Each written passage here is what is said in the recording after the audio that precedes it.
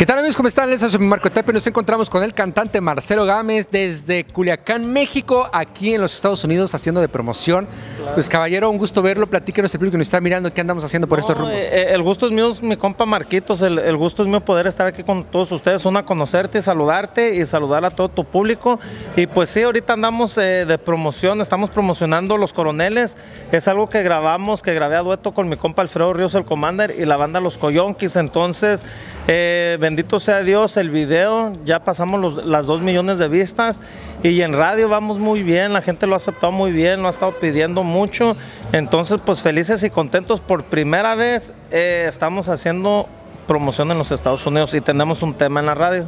Claro que sí, bueno, platícanos un poquito de ello, cómo fue, surgió la idea de hacer este dueto y más con el Commander, que es uno de los cantantes que ha estado muy fuerte. claro, claro que sí. Pues eh, el dueto ese surgió, siempre me preguntan, y es medio, medio largo. Lo que pasa que yo ese corrido, yo lo compuse hace como unos 12 años, entonces el Commander cuando empezó a cantar fue de los primeros temas que él grabó y de los primeros temas que a él le funcionaron.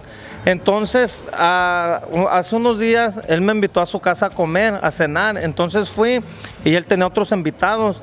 Y ya él me presentó, me presentó, ah, ¿saben qué? Les presento a mi compadre Marcelo de este. De hecho, mi compadre canta muy bien y compone muy bien. Dice, es más, dice, eh, hay un correo que se llama Los Coroneles, que gracias a ese correo yo he comido mucho y sigo comiendo, pero toda la gente piensa que el corrido ese es mío, dice, pero no, el corrido ese es de mi compadre Marcelo, él fue el que lo compuso, dice, no es mío. Entonces así pasó y como a la semana yo iba a grabar Conservando ZL en vivo y con la banda Los Coyonquis y me habla y me dice, oiga, ¿sabe que yo lo grabé dos veces norteño? ¿Por qué no lo grabamos a dueto y con la banda? Entonces así surgió, se lo agradezco mucho, la verdad estoy muy agradecido con él y gracias a Dios vamos bien, vamos claro bien. Que sí. Bueno, y como compositor, ¿qué otros artistas has tenido la dicha de que te graben tus canciones? Ah, bueno, pues, eh, pues Los Coroneles ha sido uno de los corridos en los últimos 10 años, ha sido de los corridos más cantados y más grabados. Si va uno para los mariscos, los chirrines, como le decimos, eh, lo cantan. Si usted va a un baile, se sube la banda, lo canta, se sube el grupo norteño, lo canta. Entonces es uno de los corridos más grabados y más cantados de los últimos 10 años. Creo que me lo han grabado como unos 50 artistas, me lo grabó el Commander, el Potro de Sinaloa creo que los No Rebeldes, Jorge Santa Cruz.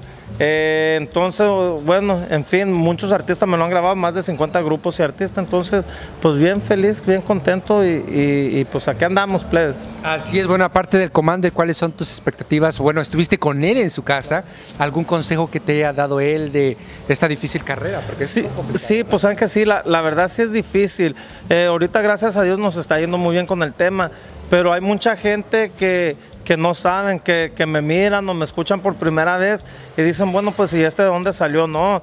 De hecho, yo empecé a cantar aquí en Los Ángeles, en el Parral y el Farallón de Lingüer que era donde cantaba Chalino Sánchez, Don Lalo el Gallo Elizalde. Entonces yo allí me crié porque mi papá también cantaba, mi papá le decía no pegames el tigreso. Entonces allí fue donde yo empecé a cantar a los ocho años.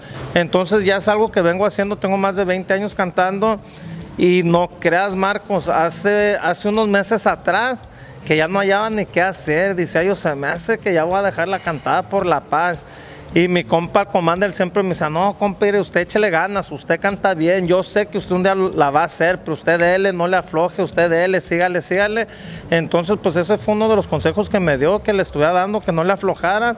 Y pues qué bueno que le hice caso y aquí andamos, ahora sí ya andamos dando lata por estos lados. Caballero, muchísimas gracias, que sigan los no, éxitos. No, muchísimas gracias a usted, mi compa Marcos Tapia, muchas gracias por la oportunidad y aquí estamos a la orden, es la primera vez, espero que no sea la última y lo que se le ofrezca, aquí estamos y saludos para toda la gente que nos está viendo.